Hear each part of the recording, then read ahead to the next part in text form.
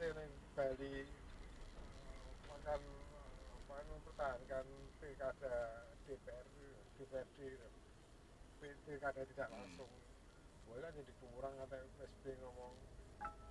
Eh, Golkar berkhianat karena dia udah sebenarnya awalnya udah mau setuju dengan pilkada gitu.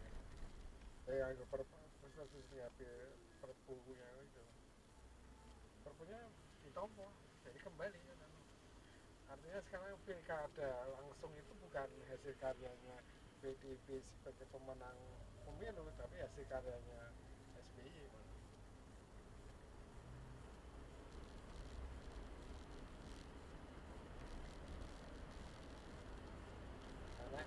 pas awal dia dulu itu pas tapi bukan sebetulnya bukan aja karena dia orang asli nih yang ngono. kuwi. Enggak, udah kembali kan Lah, ya. dengan- waktu Sing- dia kalah itu kan. sing anu kan Dani dia yang aslinya itu kan seperti itu. Jadi dia tidak mengubah apa-apa tapi seakan-akan untuk nama ya kan. Freaking Ya. kan kuwi toh tapi pada saat waktu apa pemilihan kan dengan DPR kan kan kalah. Kalah itu kan artinya harus kembali ke eh, kalah artinya pilkada tapi pilkada tidak langsung. Tapi harus kan kalau SBY langsung dua kali perpu iya nek. Nah aslinya itu tidak berbuat apa-apa Pak. Cuma ingin diakoni itu hasil saya loh Ah, iya, iya, iya. aslinya kan tidak berbuat apa-apa. Tapi nek SBY tidak berbuat itu kan artinya kan wis nek anu. Iya pada pada saiki. Jadi ada ada yang nulis bahwa begal-begal ini adalah sebetulnya polisi mau cari nama. Seakan kan dia yang membereskan lagi gitu loh. Mirip gitu siapa ya sing analisa. Jadi polisi pingin punya nama lagi. ah, pingin punya citra lagi dia beresin ini. Jadi sebenarnya yang bikin ya dia dia juga gitu loh. Sing nyambit itu mungkin ya dene sik dicontoh nih iya. Dia akhirannya Demokrat mau mau berbuat baik gitu. iya polisi pun seperti ini gitu dia nenggawe dewi masalah kemudian seakan-akan dia berbuat baik Tapi sebenarnya masalahnya itu karena kekonyolan apa kekonyolan PDIP. Sebenarnya dari awal kalau dia bisa ngerangkul KIH terus ngerangkul ini, Bang.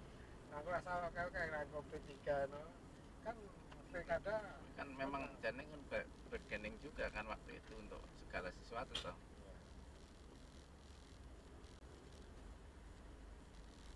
permainan permainan. Sekarang mana?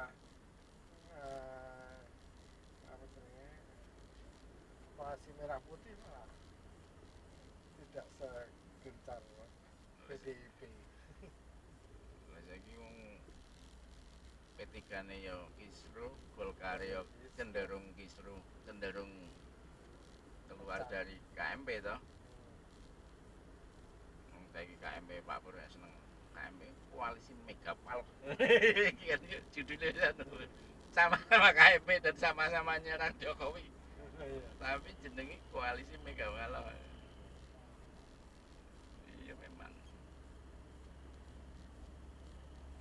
Nah, pikir-pikir ya memang butuh anu, butuh biaya.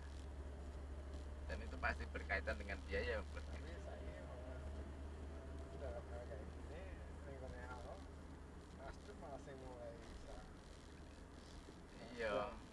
P3 sekarang juga benar walaupun P- si lulungnya nggak mau wis. PKP sebenarnya. Nasdem itu karena dulu kan belum lahir. Jadi ngapain juga aku ikut-ikutan. Sementara yang di perkembangan 2014 dia kan masih aman sentosa. ya. Untuk bagian orang dengan pilihan di sini wae. Nah, untuk bagian kan mau tidak mau kudu Makanya. Piye carane strategine ben dihapus gitu kan apa memori ini hilang